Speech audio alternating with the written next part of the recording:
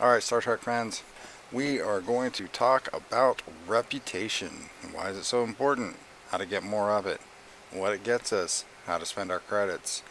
And other ways to expedite the process.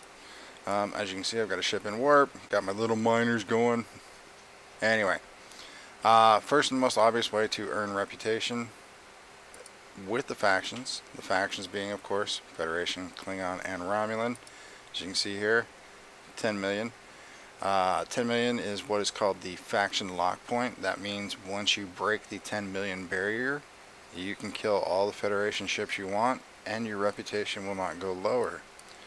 Uh, that means I can go into Fedi space and farm interceptor blueprints, maybe even some intrepid blueprints.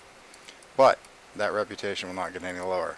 Klingon, of course. Klingon are not my friends. Negative 2 million. That is the cap as far as negative goes.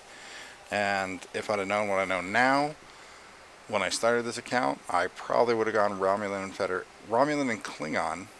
Um, I'll explain why I would have done that instead here after a bit.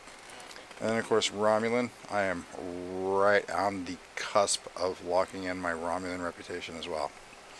And of course you've got Augment and Rogue reputation but those are a separate issue. Today we're just going to be dealing with Fed, Klingon, Romulan. Now, the first and most obvious way to earn reputation is through dailies. The number one daily that resets every morning is the reputation event itself. Uh, this is a spend resources event. If you spend one parsteel, you get one point. One tripe, five points. One dilly, 25 points. And of course, when you spend your resources, you earn reputation. Now, just to be clear, you cannot grind triple faction. You just can't. It doesn't happen. You can do two reputations simultaneously. So every day, for example, tier 1 on both reputations, you would earn 5400 rep divided by 2. So when you get your complete this particular tier, you gain 5400 rep, but you lose 2700 rep. So if you're doing two factions, doing this every day, of course you're going to gain 2700 rep with both of your chosen factions, 5400, 10,800, and 21,500. And you earn your credits. Hooray, credits. Uh, other dailies that you can do and these are the dailies that reset every evening. You have, let's find them, Federation Champion, Federation Warrior, Romulan Champion, Romulan Warrior, and then of course you got Romulan and Federation Mining. If we go up here, look, Federation Champion, 25 milestone points for the daily, but it earns you 30,000 rep, another 75 credits, some speed ups, and some recruit tokens. Now, doing your dailies every day, and we'll do the math. So for example, actually we'll go with, we will pretend my Federation and my Romulan rep are in the same bracket, so we'll start with Romulan Champion. Oops, didn't mean to do that. Nope, that's not where I meant to go. Romulan Champion. Back down here, folks we are going to earn 60 credits. break out our handy dandy calculator. So 60 credits plus, see Romulan Warrior, 30. So plus 30. So that's 90 credits just for killing 25 ships. Then we're going to look at the mining one. That's 30 and another 60 so that's another 90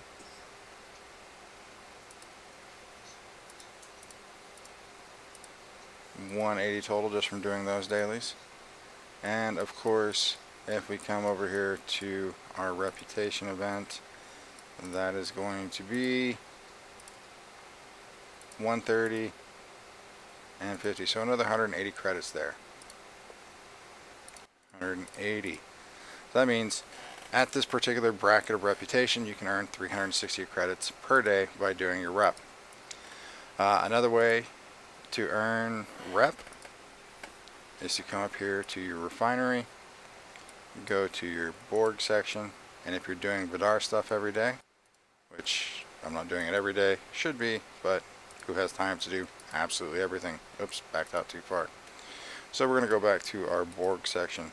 You can refine inert nanoprobes into charged nanoprobes, 3000, and then of course scroll over here, and we're going to stick with Romulan, that's 120, so 1650 Romulan, or excuse me, nanoprobes for 120 Romulan credits. Then of course you can also go over here and if you really really want to, and we're just going to do it be for funsies, going to gain another 20,000 Romulan rep right there. Uh, so those are the ways to earn rep. Uh, those are also ways to earn credits. There are other ways to earn credits. Another example of earning credits, I've got the ship floating out here in Federation space and we are going to look for something called a scout. No promises that we're going to find. Oh, never mind. We found one. Uh, Federation Scout, this is a kind of a rare target. They spawn, you kill them, and they have a chance to drop a chest. In that chest are something called messages. And of course, I'm killing a Federation Scout, so I'm hoping for Federation messages. And we will find out in about 20 seconds. Um, if you go to LCARS, you can actually search, see what systems scouts spawn in. And you can actually rotate between those systems looking for scouts. Oh, defeated the scout. Got a chest. Gonna open it up. 49 Federation messages. The higher the level of the scout, the more messages you get. And if you're hunting Federation ships, an area I like to farm around in is Tilar, Deneb. You can bounce back in between systems. Let's take a look over in Tilar real quick, see if we can see a scout. Oh, and there's another scout. This is why I like hanging out here and farming.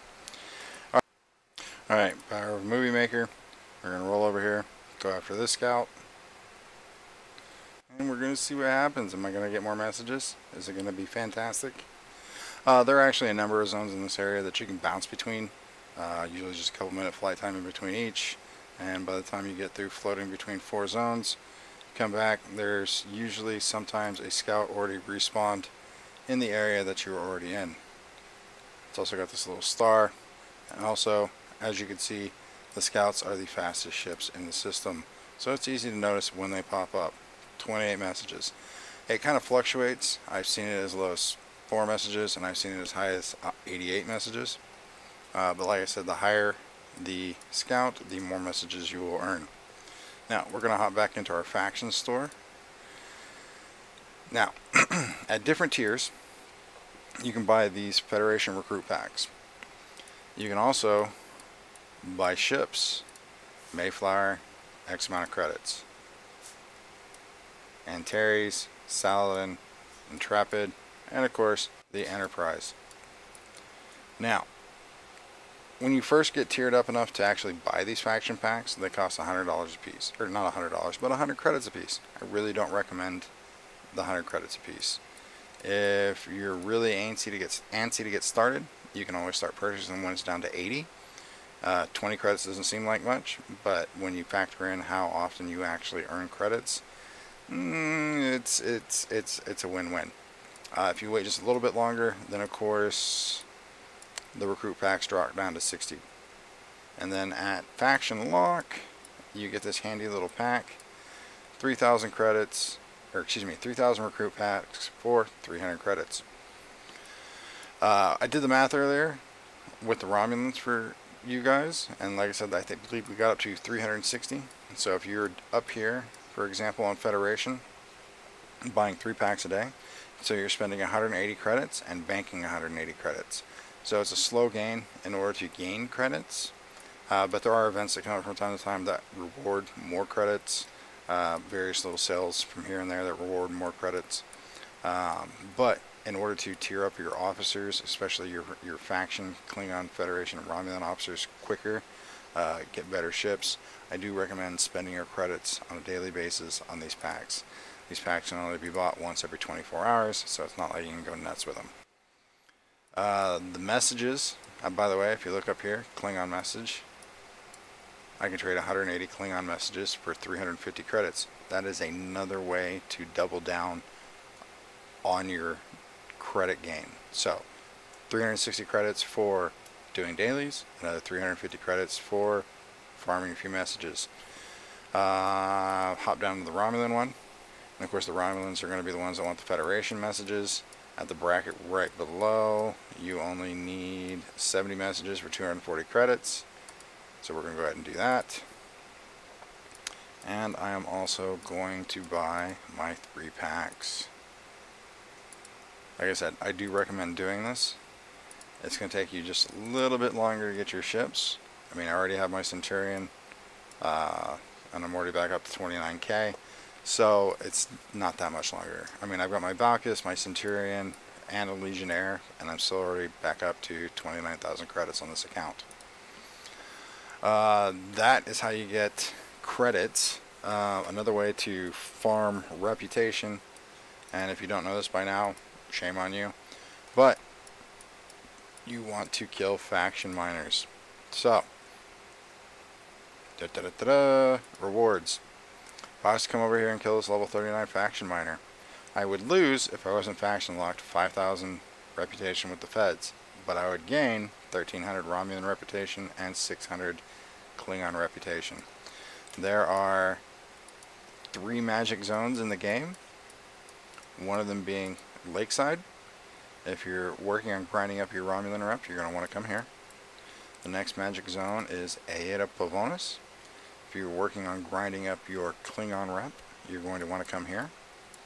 And because we all know things are imbalanced in the Romulan favor, if you come down to Tiger Core, and mind you, these are relatively tough zones. You're not going to be able to kill these hostiles without some decently tiered Pike Moreau Chen action and at least a 1.5 million ship.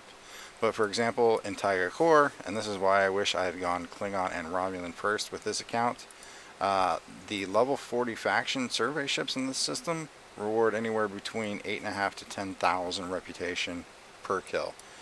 Lakeside, not so much. I believe it's around 4,000, 5,000. Same with Eta Pavonis. Seriously skewed in the Federation favor, but we all already knew this. Uh, but yeah, so get your credits, get your rep, rep up, definitely recommend dual faction. It's going to get you those speed ups. It's going to get you those extra goodies. Um, and then, of course, if you are buying those recruit packs on a daily basis, let's look at the events real quick. I don't think there's an officer recruit event right now, but we're going to check. Nope, just a ship event. But whenever those officer recruit events do come up, wrong button, uh, you can go in and instead of burning your say ultra recruit packs or your premium packs you can just go in and as you can tell like I said I do this every day. Come in pop your chests. And once you get your green your uncommon officers maxed out it's just straight officer EXP any rare or epic officers that you have maxed out. And you don't have to actually tier them up and max them out. You just have to earn the maximum amount of shards to actually have taken them to the max tier. Uh, you will start earning transporter patterns. And of course you're still going to be working on your epic officers for a long long while. They just do not wrap up fast. Same with the Romulan. Oh I'm uneven now.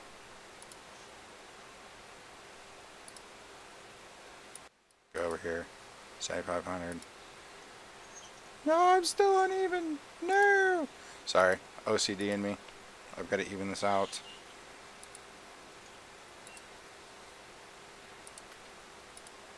But you get my meaning. And then with those transporter patterns, you can of course go over here and buy officer shards. Thousand shards earns you one, or excuse me, a thousand transporter patterns earns you one epic officer shard. So like yesterday, for example, we were doing armadas. I was like, oh man, I wish I had 6 to 10 on this account. I went I looked. I'm like, oh, I'm 15 shards away. I happen to have just enough shards to buy him, and now I have him. Also helps for tiering up officers. Khan, you can speed up your tier up process on your Khan this way. Uh, your Carol Marcus, Pike, Alexander, Charvanek, Kang, Nero, Gorkon, Kirk, and of course you've got 610, Cross, Khan, Gary, yeah. So alright, that's an overview on your rep, why it's important, how to get credits, how to earn rep, and uh, I hope you guys found this video informative. And if you liked it, give it a thumbs up, subscribe, and if you have any suggestions or any questions, let me know. Thanks. As always, have fun, be safe.